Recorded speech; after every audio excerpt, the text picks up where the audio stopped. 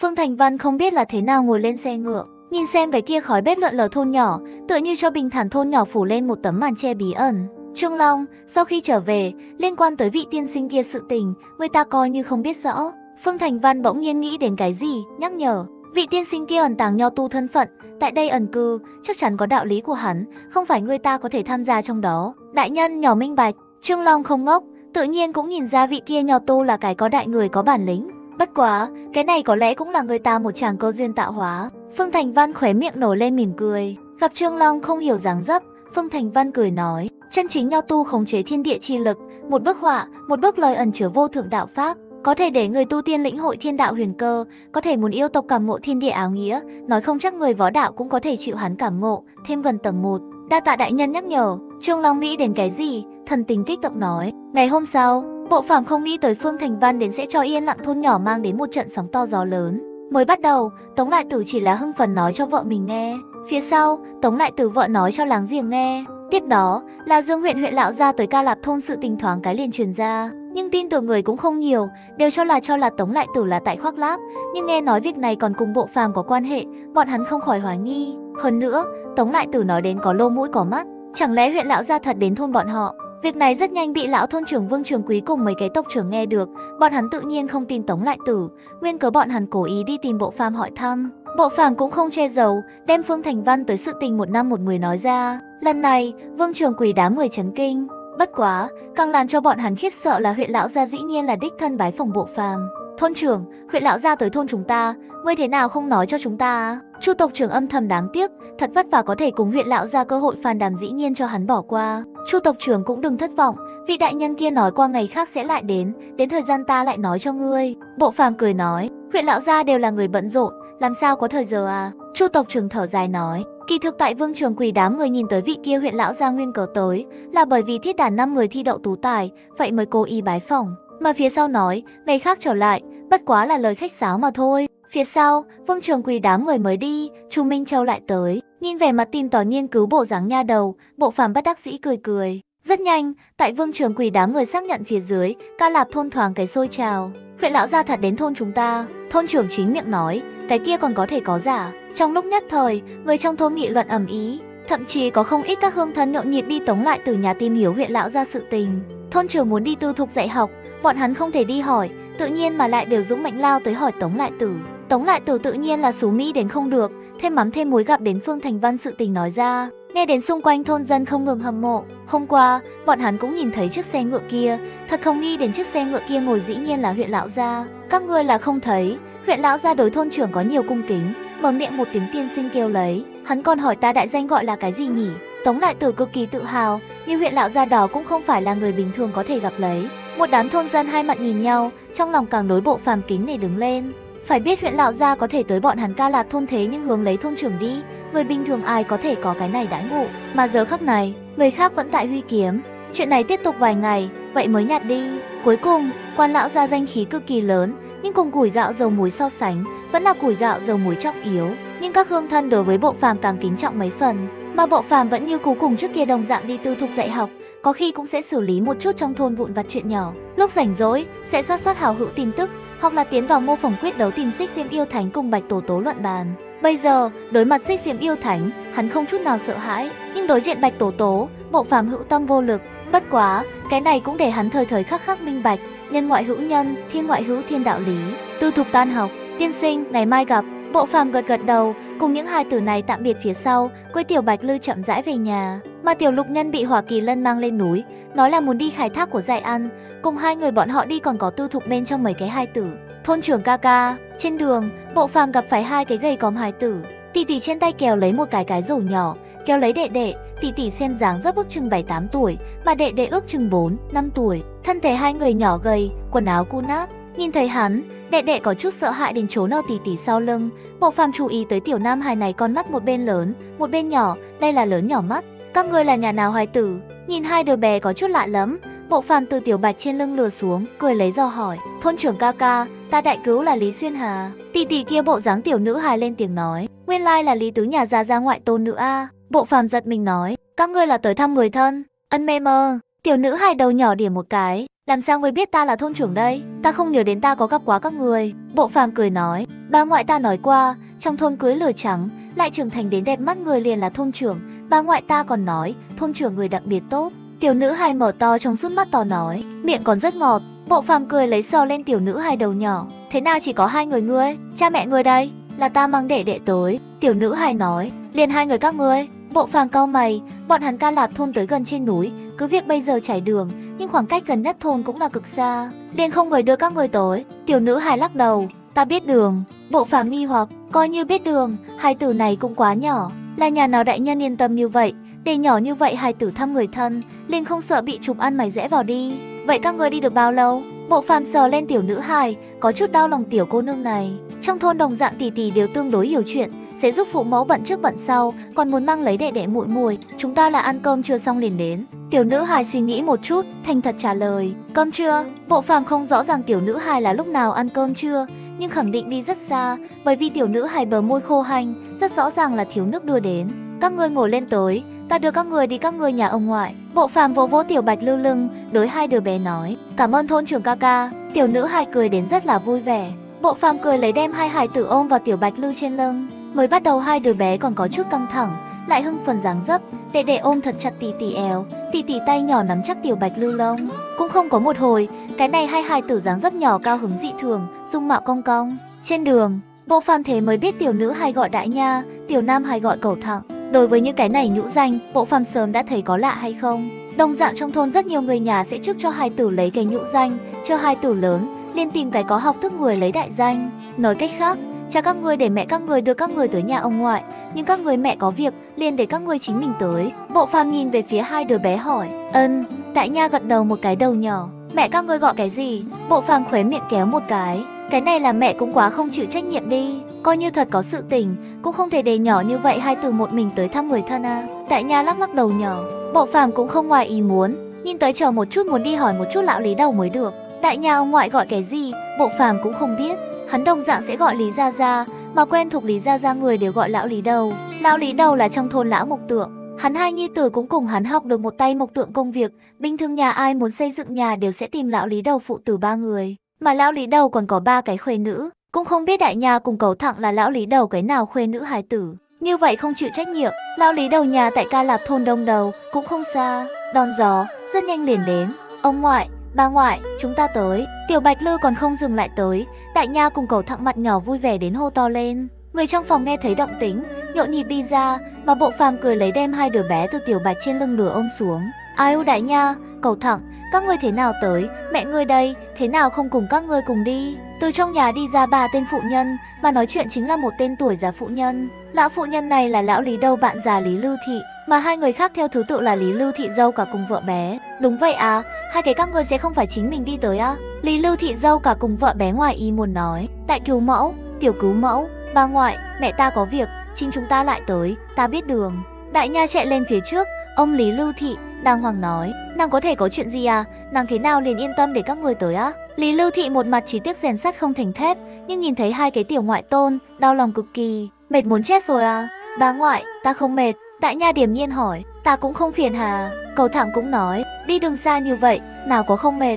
Lý Lưu Thị thương tiếc sở lên hai đứa bé. Bà ngoại, đây là cha để chúng ta đưa cho ngươi. Đại Nha đem giỏ trúc đưa cho Lý Lưu Thị. Giỏ trúc trang cũng không phải là cái gì quý giá vất phẩm, mà là một chút mộc nhĩ, giá cây nấm một loại lâm sản. Cha ngươi cũng vậy, để các ngươi tới liền đến, còn mang cái gì? Lý Lưu Thị nhắc lên Lý Thanh Hà đó là chỉ tiếc rèn sắt không thành thép dáng dấp, nhưng nhắc lên Đại Nha cha cũng là tràn đầy vẻ u sầu. Một màn này để bộ phàm rất là không hiểu. Đại Nha cùng cầu thẳng hai hai tử thật xa tới trong thôn, Lý Lưu Thị vẻn vẹn chỉ trích chính mình khuê nữ, lại không có một chút điểm oán trách con rể một câu. Theo lý thuyết không nên hai cái một chỗ oán trách sao? Thôn trưởng, mới thế nào cùng Đại Nha, cầu thẳng cùng nhau tới? Lý Lưu Thị cười nói, ta trên đường gặp phải hai nàng, lên tiện đường tiễn bọn hắn tới. Bộ phàm giải thích nói, vậy quá cảm ơn ngươi. Lý Lưu Thị cảm ơn nói, đừng ở đứng ở phía ngoài, tiến nhanh trong phòng ngồi. Vậy ta liền không khách khí. Bộ phàm liếc nhìn đại nhà cùng cầu thẳng, liền đi theo Lý Lưu Thị tiến vào trong phòng. Lý Lưu Thị để vợ bé đi gọi lão Lý đầu phụ tử ba người trở về, để rau cả đi cho bọn hắn đun nước pha trà.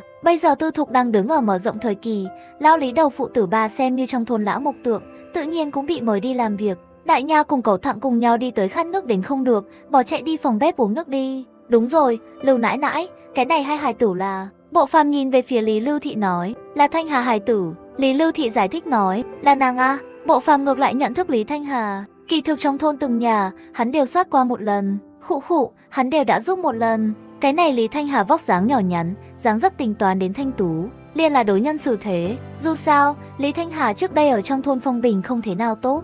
Bất quá, đó cũng là thật lâu chuyện lúc trước, hắn cũng khó mà nói người khác chỗ xấu. Về sau, tựa như là đến thạch khai thôn, trượng phu là làm cái gì, bộ phàm lại không biết. Cuối cùng, hắn cũng không phải cái gì bác quái người, không có khả năng từng nhà hiểu do đến rõ ràng. Lưu nãi nãi, kỳ thực ta có chuyện nghĩ mãi mà không rõ, cái này hai hài tử như vậy nhỏ, làm cha mẹ sao có thể yên tâm để bọn hắn chính mình tới. Bộ phàm vẫn là đem trong lòng nghi hoặc hỏi lên. Thạch khai thôn là cách ca lạp thôn gần nhất thôn, đại nhân cũng chẳng có gì, nhưng đối với 7-8 tuổi hai tử mà nói, đoạn đường này chỉ sợ không thua kém đại nhân đi trong trấn đi chợ. Lý Lưu Thị thở dài, đại nha cha nàng là thợ săn, nửa năm trước lên núi gặp họa, đem chân cho tè gãy, tuy là người cứu sống, thế nhưng chân. Bộ phàm bừng tỉnh hiểu ra, hóa ra đại nha cha nàng là không có cách nào tiễn bọn hắn tới, mà đại nha mẹ nàng tạm thời có việc, liên để đại nha cùng cầu thẳng chính mình tới ca lạp thôn. Nói thật, hắn thấy Lý Thanh Hà quá không biết làm mẹ, để hai cái 7-8 tuổi hai từ một mình tới thăm người thân. Bất quá, Lưu nãi nãi, đại nha cha nàng chân thương tổn đến rất nặng sao? Bộ phàm đáy mắt hiện lên một vòng linh quang. Ân, Lý Lưu Thị gật gật đầu, nghe trong trấn đại phu nói, chân là chị không hết. Nhưng bỗng nhiên, Lý Lưu Thị nghĩ đến cái gì, ánh mắt khiếp sợ nhìn về phía bộ phàm, nàng thế nào đem thôn trưởng quên đây? Phải biết liền trong trấn đều không chữa khỏi bệnh, thôn trưởng hai lần liền đã giải quyết. Thôn trưởng, ngươi có thể hay không giúp đại nhà cha nàng nhìn một chút chân, thôn liền số y thuật của ngươi đến. Lý Lưu Thị kích động nói, nhiệm vụ, giúp tiểu nữ hải phụ thân trị chân. Nhiệm vụ nhiệm vụ, đại nha cha nàng là trong nhà trụ cột, nhưng từ khi chân phế, không còn nguồn kinh tế, toàn bộ nhà phảng phất tản đi đồng dạng. Cứ việc tại Lý Lưu Thị nhìn tới nàng khuê nữa có chút không tưởng nổi, nhưng Thủy chung là nàng con gái ruột, nàng con gái ruột cùng hai cái ngoại tôn sau đó còn trông cậy vào con rể đây. Nhiệm vụ ban thưởng, 300.000 điểm kinh nghiệm, tiếp nhận, cự tuyệt, ta đây không dám khẳng định, muốn xem qua mới có thể xác định. Bộ phàm lắc đầu, mặc dù hẳn đối y thuật của mình lòng tin 10 phần, nhưng có khi người là thật không thể quá tự mãn vạn nhất bị đánh mặt đời. Đây là tự nhiên, đây là tự nhiên. Lý Lưu Thị thần tình kích động, liên tục gật đầu, hận không thể hiện tại liền đem con rể kéo qua cho bộ phàm kiểm tra đo lường chân thương tổn. Bà ngoại, ngươi thế nào? Đại nha cùng cậu thẳng đi vào trong nhà, trên miệng nhỏ còn có lưu nước động, nhìn thấy một mặt kích động Lý Lưu Thị, mặt nhỏ tràn đầy nghi hoặc. Đại nha, mau tới đây, thôn trưởng có biện pháp cứu cho các ngươi chân. Lý Lưu Thị không kịp chờ đợi đem chuyện này báo cho đại nha nghe. Thôn trưởng ca ca, ngươi có phải hay không có thể cứu cha ta? Đại nha nghe xong lời này, xúc động đến gương mặt đỏ rực. Không sai, nhìn xem xúc động đến không ra hình thù gì đại nha, trong lòng bộ phàm thở dài, sờ lên đại nha đầu nhỏ. Quá tốt rồi, đại nha xúc động đến nhảy dựng lên, cầu thẳng cũng rất là cao hứng. Chỉ chốc lát sau, lão lý đầu cùng hai đứa con trai từ bên ngoài chạy về. Đại nha cùng cầu thẳng vui vẻ chạy qua đi cùng bọn hắn chào hỏi, bộ phàm cũng cùng lão lý đầu phụ từ ba người lên tiếng chào hỏi. Lão lý đầu từ trước đến giờ không có cái gì trọng nam khinh nữ quan niệm, Đối đại nha cùng cầu thẳng cũng là yêu thương cực kỳ, nhưng nghe nói đại nha cùng cẩu thẳng là hai người tới ca lạp thôn, mặt hắn lập tức không tốt. Cái kia xú nha đầu là thế nào là mẹ, hai từ như vậy tiểu liên để đại nha, cầu thẳng tới, còn có từ hổ cũng vậy, thế nào cũng đồng ý để các người đã tới. Lão lý đầu tức giận đến không được, ông ngoại, cha ta là để mẹ ta dẫn chúng ta tới, nhưng mẹ có việc, liên để chúng ta chính mình tới. Đại nha giải thích nói, nàng có thể có chuyện gì à? Lão lý đầu càng tức, hóa ra là hắn cái kia không tưởng nổi khuê nữ để ngoại tôn tới. Tốt tốt, đừng tức giận, lão đầu tử, ta có một tin tức tốt nói cho ngươi. Lý Lưu Thị lập tức đem bộ phàm có thể trị tống từ hổ chân sự tình nói ra. Thôn trưởng, ngươi thật có thể trị hết từ hổ chân thương tổn. Lão Lý đầu đầy mắc cả kinh nói, cái này à, không thể nói có tầng 10 nắm chắc, nhưng 7-8 tầng vẫn phải có. Tại bộ phàm nhìn tới chỉ cần chân không triệt để đoạn là có thể trị tốt. Hơn nữa theo phía trước Lý Lưu Thị nói cho hắn biết tình huống, tống từ hổ chân thương tổn cũng không khó trị. Vậy thì tốt quá, lão Lý đầu phấn chấn, Hắn từ trước đến giờ đối cái kia con rể thật hài lòng, nhưng biết được hắn chân bị thương, trong lòng đừng đề cập có nhiều khó chịu. Phía sau, Bộ phàm cũng không có tại lão lý đầu nhà chờ lâu, nói chuyện phía một ít lời phía sau, liền đứng dậy cáo từ. Lão lý đầu vốn dự định lưu bộ phàm ăn bữa cơm thường, nhưng bị bộ phàm lấy tiểu lục nhân cùng hỏa kỳ lân tại nhà cự tuyệt. Lý Gia Gia Thanh Hà tỷ trượng phu lúc nào rảnh rỗi, đều có thể tới tìm ta xem chân. Bộ phàm bàn giao nói, ngươi đây yên tâm, chờ một lát, Ta liền để Xuyên Hà đi cùng Từ Hổ nói, cũng không phải lão lý đầu tính nôn nóng, mà là Tống Từ Hổ chân bệnh có thể sớm trị, đương nhiên là kịp thời chữa khỏi. Lý lão đầu một nhà đem hắn đưa ra ngoài cửa, thôn trưởng ca ca, gặp lại, đại nha đông đưa lấy tay nhỏ, bộ phàm cũng phất phất tay, cưới tiểu bạch lư, chậm rãi đi về nhà. Lý lão đầu nhà cũng không dám trì hoãn, Tại bộ phàm rời đi không bao lâu, bọn hắn liền đi mượn chiếc xe lửa, lập tức hướng Tống Từ Hổ nhà đi. Tại nhà cùng cầu thẳng cũng không có đi theo, mà là lưu tại lão lý đầu nhà. Ngày hôm sau, bộ phàm tại tư thục dạy học, lão lý đầu vợ chồng dẫn một cái xa lạ hán tử, cùng đại nha cùng cầu thẳng đi tới tư thục. Hán tử kia vóc dáng cường tráng, khuôn mặt gầy gò tang thương, chống quải trượng đứng ở cửa ra vào. Có lẽ đây chính là Lý Thanh Hà trượng phu Tống Từ Hổ. Đại nha cùng cầu thẳng đánh giá chung quanh tư thục bên trong hết thảy, lộ ra rất là hiếu kỳ. Bộ phàm để các hài tử tự học phía sau, đi ra ngoài, nhìn về phía đại nha cùng cầu thẳng, cười nói, thế nào, các người cũng muốn tới tư thục đi học. Đại nha cùng cầu thẳng mặt nhỏ lập tức đỏ, rũ đầu nhỏ không nói lời nào. Thôn trưởng, đây là ta con rể Tống Tử Hồ. Lão lý đầu cho bộ phàm giới thiệu nói, người tốt. Bộ phàm hứng Tống Tử Hồ gật gật đầu, ánh mắt rơi vào Tống Tử Hồ trên đùi, gặp qua tiên sinh. Tống Tử Hồ cũng gật đầu một cái, kỳ thực đối với bộ phàm có thể trị hết chân của hắn, hắn cũng không có ôm hy vọng quá lớn. Cuối cùng, liền trong trấn bác sĩ đều nói đầu này chân là phế, coi như mời đến Đại La Thần Tiên cũng không có cách nào trị không hết. Nhưng đối mặt cha vợ cùng đại cứu ca một phen thuyết phục, hắn cũng chỉ đánh tới. Bất quá, nhìn thấy tư thục bên trong hài tử đi học dáng dấp, Tống Từ Hồ đáy lòng lên mấy phần tiểu tâm tư. Chúng ta đi ngươi thiên phòng nó đi. Bộ phàm mang theo lão lý đâu bọn hắn đi tới tư thục bên trong phía tây thiên phòng. Chỗ này thiên phòng nguyên bản là chiêu đài tới khách nhân dùng. Vào thiên phòng, bộ phàm liền bắt đầu cho Tống Từ Hồ kiểm tra đùi phải. Một lát sau, bộ phàm duỗi trở tay lại, nhíu mày, nhìn xem Tống Từ Hổ đùi phải ngẩn người, tựa như đang suy tư cái gì. Lao Lý Đào cùng Lý Lưu Thị muốn hỏi, nhưng lại sợ làm phiền đến bộ phàm suy nghĩ. Tiên sinh, chân của ta có vấn đề gì, ngươi cứ việc nói đi. Tống Từ Hổ khuấy miệng hiện ra nụ cười khổ sở, vốn là hắn liền đối trước hỏi chân của hắn không ôm hy vọng quá lớn, nguyên cớ lại chờ mong cái gì? Hả?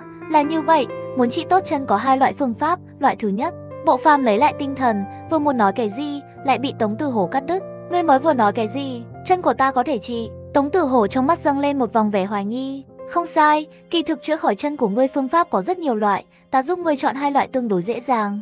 Bộ phàm gật gật đầu, thật nhiều loại phương pháp, chỉ tuyển hai loại thuận tiện. Tống Tử Hổ nuốt một cái cổ họng, hắn vốn là đều không ôm hy vọng quá lớn, đều làm xong làm cả một đời phế nhân chuẩn bị, nhưng giờ phút này lại có người nói cho hắn biết, chân của hắn có thể trị, điều này có thể không cho hắn chấn kinh hoài nghi. Cha, quá tốt rồi, chân của ngươi có thể trị, tại Nha cùng cầu thẳng mặt nhỏ tràn đầy cao hứng. Lao Lý Đào cùng Lý Lưu Thị đáy lòng căng thẳng vào giờ khắc này triệt để trầm tĩnh lại. Đối với thôn trưởng, bọn hắn vẫn tin tưởng. Tiên sinh, ngươi không lừa ta đi, chân của ta thật có thể trị. Tí, ống tử hồ vẫn như cô có chút không dám tin. Ngươi không tin không hề gì, có hai loại phương pháp, ngươi chọn một thoáng, xem có thể hay không chữa khỏi, chẳng phải thành, dù sao chân của ngươi đều như vậy, phá con có thể phá đi nơi nào. Đối với Tống Tử Hồ không tin, Bộ Phàm cũng không ngoài ý muốn, hắn thấy đây là rất bình thường phản ứng. Tiên sinh nói đúng, chân của ta phải có thể phá đi nơi nào. Tống Tử Hổ cười, theo chân của hắn về phía sau, hắn đi tìm không ít bác sĩ, nhưng những kẻ kia bác sĩ không có chỗ nào mà không phải là lắc đầu thở dài. Mà giờ khắc này, có người nói chân của hắn có thể trị, coi như là lừa hắn lại như thế nào. Hùng chi, nhìn thần tình bình thản bộ phàm, đáy lòng của hắn không khỏi dâng lên một vòng hy vọng. Có lẽ, chân của hắn thật có thể bị chữa khỏi cũng khó nói. Cái kia không biết tiên sinh nói hai loại phương pháp, là hai loại kia. Thanh âm Tống Tử Hổ đều có chút run lên nói. Loại thứ nhất, tốn thời gian khả năng sẽ lâu một chút, chỉ cần cao dừng ngoại phục, đại khái một năm nửa năm liền có thể tốt. Loại thứ hai liền tương đối nhanh, đại khái mấy tháng, bất quả yêu cầu trước đem chân của người cắt ngang lần nữa tiếp. Loại phương pháp này, ngươi có thể yên tâm, tay nghề ta rất nhanh, bảo đảm sẽ ở ngươi không kêu đi ra thời điểm, giúp ngươi tiếp tốt. Bộ phàm chân thành nói, Tống Tử Hổ đáy lòng không khỏi dâng lên một luồng hơi lạnh, đánh gãy chân còn có thể lần nữa tiếp. Hắn làm sao nghe được như vậy không đáng tin cậy đây, nhưng xem thôn trưởng dáng dấp, cũng không giống nói giả. Chẳng lẽ đánh gãy chân thật có thể lần nữa tiếp tốt? Từ hồ, ta xem chọn loại thứ nhất dùng cao dương ngoại phục à? Lão lý đầu tuy là tin tưởng bộ phàm y thuật, nhưng đem đánh gãy chân lần nữa tiếp, này làm sao muốn làm sao cảm thấy khủng bố. Đúng vậy à, từ hổ, một năm nửa năm cũng không lâu lắm, rất nhanh liền đi qua. Lý Lưu Thị cũng khuyên, Tống Từ Hổ trần chờ chốc lát lắc đầu. Hắn rõ ràng nhạc ra người là có ý tốt, nhưng hắn rõ ràng tình huống trong nhà. Từ lúc hắn chân về phía sau, trong nhà liền nhập không đủ suất. Hơn nữa, Lúc trước vì cứu sống hắn, trong nhà bà khoa đến 7-8 phần không nói, còn ngược lại thiếu người khác không ít bạc. Khoảng thời gian này tới, nếu là không có nhạc gia giúp đỡ, nhà bọn hắn thời gian không biết rõ thế nào qua. Nếu như lại kéo cái một năm nửa năm, Tống Tử Hồ thực tế đợi không được thời gian lâu như vậy. Thôn trưởng, ta quyết định tốt, ta lựa chọn loại thứ hai. Tống Tử Hồ ánh mắt kiên định, dù sao chân đều phế qua một lần, lại bị cắt đứt, cảm giác cũng không có gì. Lao Lý Đào cùng Lý Lưu Thị muốn nói lại thôi, bọn hắn cũng có thể minh bạch Tống Tử Hổ lo lắng bận tâm cái gì. Lý Gia Gia, các người yên tâm, có ta ở đây, không có chuyện gì. Bộ phàm cười lấy an ủi hai người. chúng ta tin thôn trưởng ngươi, cái kia từ hổ sự tình, liền phiền toái thôn trưởng ngươi. Lão Lý đầu cùng trong lòng Lý Lưu Thị thở dài. Phía sau, Bộ phàm đề nghị để Tống Tử Hổ lưu tại trong thôn, dạng này có lợi cho trị liệu Tống Tử Hổ chân thương tổn. Lão Lý Đầu cùng Lý Lưu Thị cũng không nghĩ nhiều sẽ đồng ý, bọn hắn cũng hy vọng Tống Tử Hổ chân có thể sớm đi tốt lên, lớn như vậy nha cùng cầu thẳng sau đó cũng có dựa vào. Cứ như vậy, Tống Tử Hổ liền lưu tại lão Lý Đầu nhà chữa bệnh. Đúng rồi, thế nào không thấy Thanh Hà tỷ tới? Bộ phàm hiếu kỳ nhìn về phía lão Lý Đầu một nhà. Lão Lý Đầu nhi tử vợ không tới, hắn có thể lý giải. Cuối cùng, lão Lý Đầu hai cái vợ tại Chu Minh Châu xưởng xà bông thơm làm việc, mà hai nhi tử ngay tại tư thục mở rộng thư viện. Nhưng Lý Thanh Hà là Tống Tử Hổ thê tử, trượng phu chữa bệnh, thê tử không theo tới hỏi đến một thoáng, liên của thực có chút không đúng. Lão Lý Đào cùng Lý Lưu Thị không biết nên nói cái gì. Một bên Tống Tử Hổ yên lặng chốc lát lên tiếng nói, nàng muốn lưu tại trong nhà giữ nhà, nhìn xem người một nhà dáng dấp, Bộ phàm cảm thấy bên trong có việc, nhưng người khác nếu không muốn nói, hắn cũng không dự định tiếp tục tìm tòi nghiên cứu ý tứ. Tư thục sau khi tan học, bộ phàm trở về nhà chuẩn bị một vài thứ phía sau, mang theo tiểu lục nhân đi tới lão lý đầu nhà. Mà Hỏa Kỳ Lân biết hai người bọn hắn muốn đi cho người ta chữa bệnh, cảm thấy nhàm chán liền không theo tới. Lão lý đầu một nhà đều biết tiểu lục nhân, biết tiểu lục nhân là thôn trưởng tiểu đồ đệ, cực kỳ khách khí đem bọn hắn đón vào trong phòng. Bởi vì lo lắng hù đến hài tử, lão lý đầu thật sớm để mấy cái tôn tử nuôi lớn nha cùng cậu thẳng ra ngoài chơi. Chớ khẩn trương, nhìn xem khẩn trương Tống Tử Hổ, bộ phàm cười nói, để tiên sinh chế diễu. Tống Tử Hổ ngượng ngùng cười một tiếng, coi như nội tâm hắn cường đại, nhưng biết chân muốn lần nữa cắt ngang lại tiếp bên trên, vẫn còn có chút lòng vẫn còn sợ hãi. Chờ nhà lão lý người ra ngoài phía sau, bộ phàm liền bắt đầu bắt đầu làm Tống Tử Hổ trị chân. Lão đầu tử, ngươi nói Tử Hổ không có sao chứ? Lý Lưu Thị lo lắng nói, đừng sợ, thôn trưởng không phải đã nói rồi sao, Từ Hổ chân không phải vấn đề gì. Lão Lý đầu trong lòng cũng căng thẳng, nhưng vẫn là an ủi. Ngay tại lão Lý đầu một nhà ở bên ngoài căng thẳng chờ đợi thời điểm, một chiếc xe ngựa đột nhiên dừng sát ở ngoài cửa. Ngươi còn không tiếp trở về á? Ngươi liền không khẩn trương một thoáng chồng của ngươi? Các thoải mái nhàn nhã Lý Thanh Hà theo dưới xe ngựa tới, lão Lý đầu tức giận đến không nhẹ. Căng thẳng có thể có cái gì dùng? Chẳng lẽ ta căng thẳng một thoáng, chân của hắn liền có thể tốt? Lý Thanh Hà không thèm để ý chút nào nói, ngươi cái này nói đến lời gì, như là một cái vọ lời nên nói. Lão Lý đầu tức giận, hận không thể một bàn tay phiến chết nha đầu này. Tốt tốt, Thanh Hà có thể trở về tới liền tốt. Lý Lưu Thị lôi kéo lão Lý đầu. Mẹ, ngươi xin ta cho các người mua cái gì? Đại ca, nhị ca, các người hỗ trợ cầm một thoáng. Lý Thanh Hà theo xe ngựa lấy ra to to nhỏ nhỏ hộp quà. Ngươi ở đâu ra bạc mua những vật này? Lão Lý đầu cau mày, Lý Thanh Hà nhà tình huống như thế nào? Hắn tự nhiên rõ ràng, bây giờ nào có cái gì tiền dư mua đồ vật à? Ta hôm nay tại trong trấn gặp được một cái té lăn trên đất lão thái thái, ta liền lên trước giúp đỡ một thoáng. Lão thái thái kia nói tâm địa ta tốt, liền đưa những vật này cho ta,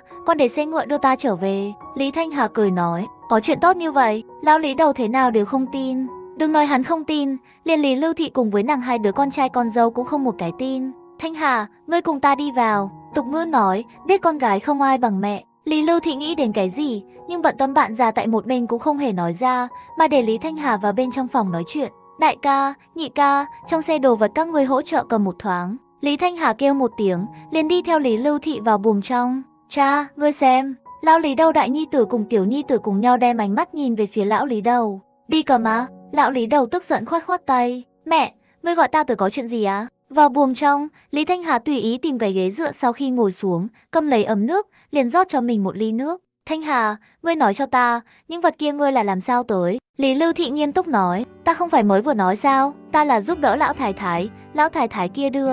Lý Thanh Hà uống một hớp nói, ngươi làm mẹ là già quá lẩm cẩm rồi sao? Trong trấn nhiều người như vậy đều không vị lão thái thái kia, chờ ngươi đi vịt. Lý Lưu Thị không lưu tình chút nào nói, mẹ, ngươi lời nói này đến liền không đúng, thế đạo này, lão thái thái ngã xuống, con thật không ai dám đi vị Lý Thanh Hà cải chính, người quen trước đây lão tôn nhà sao? Nhà hắn chẳng phải giúp đỡ một kẻ té ngã lão thái thái, bị lừa bịp tốt mười mấy lượng. Nhưng ngày nào, người lão ngã, ta xem dám đi vị người không mấy cái. Lý Lưu Thị bị nói đến á khẩu không trả lời được. Mẹ, ngươi đừng nóng giận à, ta vừa mới cũng không phải muốn nguyên rủa ngươi té ngã. Như mẹ, khẳng định là sống lâu trăm tuổi. Lý Thanh Hà làm nũng nói, tốt tốt, không phải mẹ không tin người, ngươi phải biết ngươi là hai đứa bé mẹ, ngàn bạn không thể làm thật xin lỗi từ hổ sự tình. Từ hổ là cái tốt, chờ thôn trưởng đem từ hổ chân chữa khỏi, ngươi nhưng muốn thật tốt cùng hắn sống qua ngày. Không có cha mẹ nào không hy vọng hài tử qua không được, Lý Lưu Thị cũng đồng dạng, tự nhiên không hy vọng khuê nữ đi lầm đường. Cái kia từ hổ có gì tốt, loại trừ đi săn, có thể kiếm mấy đồng tiền à. Lý Thanh Hà hào hứng ghét ghét nói, Thanh Hà, ngươi lời này ý tứ gì? Lý Lưu Thị cao mày nói, ta không có gì à. Lý Thanh Hà phát hiện nói sai, vội vàng lắc đầu. Thanh Hà, mẹ đi qua đến cầu, sao ngươi đi đường còn nhiều, Ngươi phải biết chúng ta nữ nhân cả đời này cũng không phải muốn gả đến có thật tốt, mà là muốn gả đối người, nghèo một chút không quan hệ, chỉ cần chịu cố gắng, cước đạt thực địa, đối vợ con tốt liền tốt. Lý Lưu Thị khuyên nhủ, ta biết ta biết, ta cũng không phải tiểu hài. Lý Thanh Hà không nhịn được nói, trong lòng Lý Lưu Thị thở dài, nàng nơi nào nhìn không ra nhà đầu này tầm biến lớn.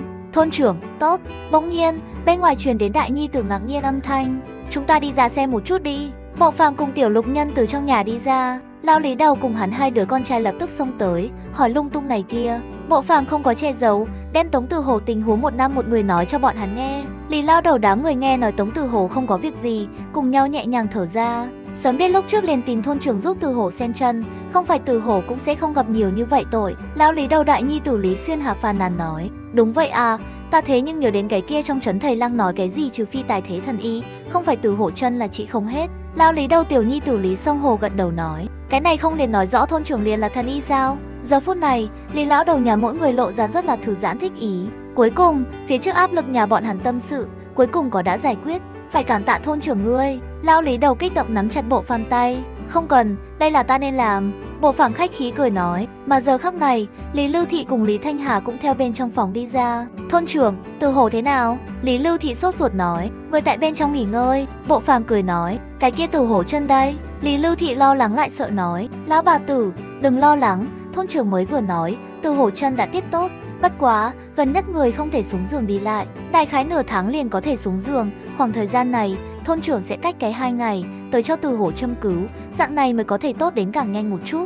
Lao Lý đầu cười đến đặc biệt vui vẻ nói, vậy là tốt rồi, vậy là tốt rồi. Lý Lưu Thị sách theo tâm để xuống, lập tức kéo lấy Lý Thanh Hà. Thanh Hà, mau tới đây cảm tạ thôn trưởng. Cảm ơn thôn trưởng. Lý Thanh Hà không tình không nguyện nói, không cần cảm tạ. Xem Lý Thanh Hà dáng dấp, bộ phàm làm sao không rõ Lý Thanh Hà có vẻ như đối tống từ hồ cũng không có tình cảm gì. Bất quá, đây là người khác hai cái từ sự tình, hắn cũng không tiện nói gì. Lao lý đầu một nhà vì cảm tạ bộ phàm, muốn lưu bộ phàm xuống ăn cơm, nhưng bị bộ phàm từ chối nhã nhặn, nói chờ Tống Từ hồ tốt lại mời cũng đồng dạng. Lao lý đầu một nhà gặp bộ phàm nói như vậy, cũng không ở thêm hắn. Phía sau, bàn giao lão lý đầu một nhà một chút cần thiết phải chú ý cái gì, bộ phàm nên cùng tiểu lục nhân cưới tiểu bạch lưu đi về nhà. Về đến nhà, Hoa Kỳ Lân đã làm tốt một bàn đồ ăn, cả thịt băm xào, lục thịt mảnh, kho lươn chờ. Ca, cái này luôn là ta cùng tiểu thảo tỷ, tiểu hoa tỷ câu, ngươi thấy được hay không ăn? Hoa Kỳ Lân một mặt nịnh nọt đáng yêu dáng rất nhỏ, ai có thể nghĩ tới cái này mới đủ mới nông thôn tiểu nha đầu là một đầu nguyên anh kỳ đại yêu. Ân, hương vị còn không tệ. Bộ phàm gật gật đầu, nhìn tới tiểu nha đầu này không thiếu cùng Chu Minh Châu học chủ nghệ, bây giờ có thể nói là xuất sư. Ca, vậy người nhất định phải ăn nhiều một chút. Bị hắn như vậy khen một cái thưởng, Hoa Kỳ Lân cái kia em dịu khuôn mặt nhỏ nhắn đáng yêu lập tức cười đến rất là vui vẻ. Tiểu sư cô nấu cơm ăn thật ngon. Tiểu Lục Nhân cũng lấy lòng nói, vậy người ăn nhiều một chút. Hoa Kỳ Lân cười cong lông mày, lập tức cho Tiểu Lục Nhân thêm đồ ăn. Sáng sớm ngày thứ hai, bộ phàm tại tư thục lên lớp, nhìn thấy hai cái đầu nhỏ trốn ở góc tường phía dưới lén lén lút lút. Đi ra ngoài nhìn lên, hai cái này đầu nhỏ không phải người khác, chính là đại nhà cùng cầu thẳng. Bởi vì Tống Tử Hồ yêu cầu dưỡng thương, nguyên cớ bọn hắn một nhà bốn nhân khẩu đều ở tại lão lý đầu nhà. Cái này hai hài tử gặp bị phát hiện, du đầu nhỏ, tay nhỏ chăm chú nắm chặt góc áo, không dám nói lời nào, phảng phất là làm sai sự tình bị bắt ở tiểu hài tử đồng dạng. Vừa mới dậy, hai người đều sẽ sao? Bộ phản chắp tay, cười lấy hỏi. Đại nha cùng cầu thẳng lắc đầu. Tiên sinh, thật xin lỗi, chúng ta không phải cố ý tới nghe lén. Đại nha rụt rè sợ hãi nói, ta không trách ý của các ngươi, không cần phải nói thật xin lỗi. Bộ phản sờ lên tiểu nha đầu đầu nhỏ, các người cũng muốn đi học. Đại nha cùng cầu thẳng liếc nhau, gật đầu một cái. Vậy được, sau đó các ngươi có thể tới tư thục dự thính, nhưng ghi nhớ kỹ không thể ảnh hưởng bên trong ca ca tỷ tỷ. Bộ phàm cười nói, thật. Đại nha cùng cầu thẳng cao hứng, lập tức lễ phép hành lễ nói, tạ ơn tiên sinh. Phía sau, bộ phàm đem hai đứa bé mang vào tư thục bên trong. Tư thục bên trong hài tử cùng nhau đem ánh mắt nhìn về phía đại nha cùng cầu thẳng. Đại nha cùng cầu thẳng bị từng đôi mắt xem đến vừa khẩn trương lại sợ, nhất là cầu thẳng, toàn thân hơi hơi phát run, nếu không phải tỷ tỷ tại, chỉ sợ hắn không dũng khí đứng ở trên giảng đài. Đừng sợ, bộ phàm nhìn ra cầu thẳng sợ hãi, sờ lên cầu thẳng đầu nhỏ, an ủi vài câu phía sau, cùng tư thục Hải tử giới thiệu đại nha cùng cầu thẳng tới. Sau đó đại nha cùng cầu thẳng sẽ ở tư thục bên trong dự thính, các ngươi muốn nhiều chiều cố một chút bạn học mới. Ta biết, tiên sinh. Tư thục bên trong các Hải tử cùng nhau lên tiếng trả lời. Đại nha cùng cầu thẳng mới bắt đầu còn có chút sợ hãi, nhưng cùng tư thục bên trong ca ca tỷ tỷ tiếp xúc phía sau, rất nhanh liền dung nhập bên trong đi. Bởi vì tư thục bên trong ca ca tỷ tỷ nói chuyện lại tốt nghe, người lại tốt, một ngày trôi qua rất nhanh. Đại nha cùng cầu thẳng cao hứng trở về nhà cùng Tống Tư Hổ nói tư thục sự tình. Cha, Tư thục bên trong ca ca tỷ tỷ đối ta khá tốt, bọn hắn chỉ bảo ta viết như thế nào chưa tới. Cầu thẳng cười đến rất là vui vẻ nói. Đây là Tống Từ Hổ lần đầu tiên nhìn thấy cầu thẳng cao hứng như vậy. Phải biết bởi vì cầu thẳng con mắt một bên lớn một bên nhỏ nguyên nhân, không chỉ không thiếu bị cùng thôn hai tử chế diễu, nên Lý Thanh Hà cũng đối cầu thẳng đủ kiểu ghét bỏ. Nguyên cớ, cầu thẳng tại trong thôn không bằng hữu, cũng rất sợ người lạ. Bây giờ gặp cầu thẳng cao hứng như vậy, trong lòng Tống tử Hổ cũng không khỏi cao hứng lên.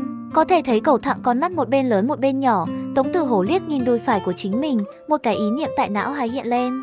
Bỗng nhiên, bên ngoài truyền đến mẹ vợ âm thanh, Thanh Hà, làm cơm tốt, cho tử Hổ bưng đi qua, gọi đại nha đi. Ngươi là thế nào là người vợ, nam nhân của ngươi ngươi không đi chiếu cố, để một đứa bé đi chiếu cố, tốt tốt. Lại tại lúc này, Lý Thanh Hà không nhịn được bưng lấy một chén cháo thịt đi đến. Cầu Thặng nhìn thấy Lý Thanh Hà đầu nhỏ lập tức rủ xuống đến rất thấp. Mẹ, Lý Thanh Hà ghét bỏ nhìn cầu Thặng một chút, Nàng cũng nghĩ không thông, nàng đẹp mắt như vậy người, làm sao lại sinh như vậy cái đồ chơi đi ra, hại cho nàng bị những cái kia bác quái phụ nhân nói này nói kia. Cầm lấy, Lý Thanh Hà đen chén đưa cho Tống Tử Hổ, người là chân chặt đứt, không phải gãy tay, không cần ta đút á. Không cần, Tống Tử Hổ lạnh lùng tiếp nhận chén.